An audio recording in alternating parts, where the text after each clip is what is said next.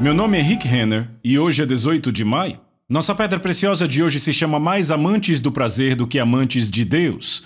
O apóstolo Paulo vem descrevendo pessoas vivendo nos últimos dias e diz que elas serão mais amantes do prazer do que amantes de Deus. Não diz que elas não amarão a Deus.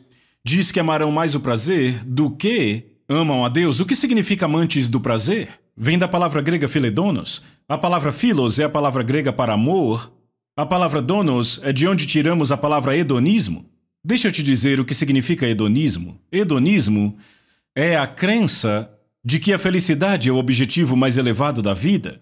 É o vício e a obsessão por prazer como forma de vida, pessoas que só querem finais de semana, que só querem férias, que só querem receber, que só vivem para si mesmas, sem fazerem sacrifícios por suas igrejas para alcançar os perdidos, pessoas que se tornaram obcecadas por si mesmas, e o que elas querem fazer, o seu maior objetivo é serem felizes.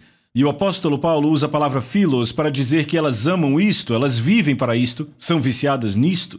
E ele diz que as pessoas no final dos tempos, incluindo pessoas na igreja, serão amantes da felicidade, do contentamento pessoal, mais do que amantes de Deus. Talvez amem a Deus, mas o seu desejo por si mesmas e por sua própria felicidade excede em muito o amor delas por Deus. Será que isso é verdade sobre nossa geração?